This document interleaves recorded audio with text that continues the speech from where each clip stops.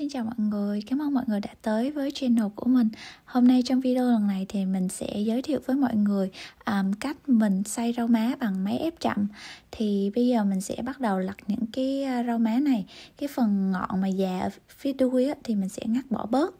Và sau đó mình sẽ rửa. Rau má mua ở chợ thì không có sạch cho lắm tại vì mình thấy có rất là nhiều cái con ốc nhỏ nhỏ nhỏ. À, đây nè mọi người thấy không?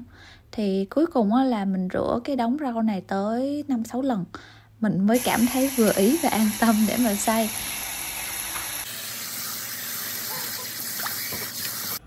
Đây là cái nước đầu tiên mà sau khi mình rửa rau nè mọi người.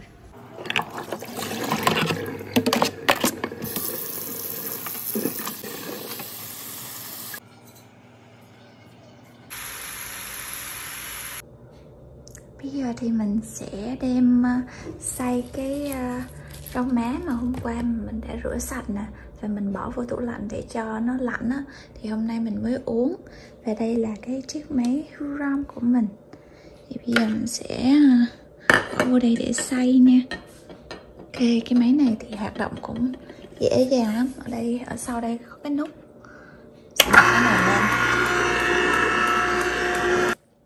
Giờ thì mình sẽ bắt đầu xay rau má. Mình sẽ vừa bỏ một ít rau má vô, rồi một ít nước nữa Để cho dễ xay. Tại vì cọng rau má nó cũng khá là dai á.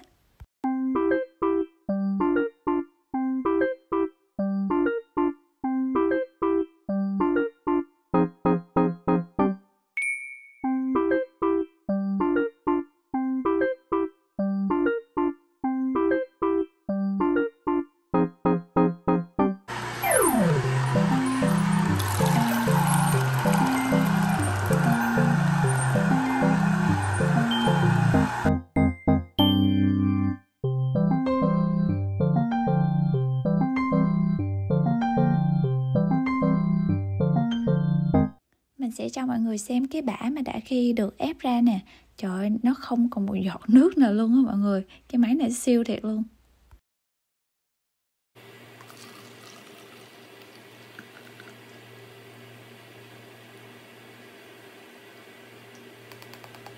Và đây là một số cặn mà mình đã lọc ra được thì cái phần này mình sẽ bỏ đi nha để rau má của mình nó được uh, thanh hơn á, thì mình sẽ dùng đường thốt nốt để pha cho thêm một xíu ngọt cho dễ uống. Nếu mọi người không có đường thốt nốt thì xài đường thường cũng được nha. Đây là mình cho nước ờ, nóng vô để đường mau tan nè.